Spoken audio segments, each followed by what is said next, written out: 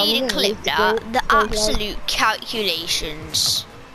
Nah, that is um, pure calculations.